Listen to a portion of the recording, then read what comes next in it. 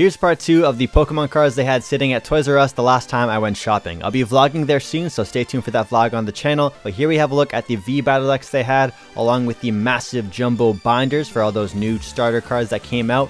We have the Rebel Clash, Darkness Ablaze, and Battle Styles blister packs. We have some Shining Fates mini tins, and they were going for cheap, but they had to limit you at two per customer. We have some Urshifu V boxes and Elite Trainer boxes, along with some plushies, the monochrome plushies. I bought the Charmander and Pikachu. Here's a look at the starter decks and even more goodies.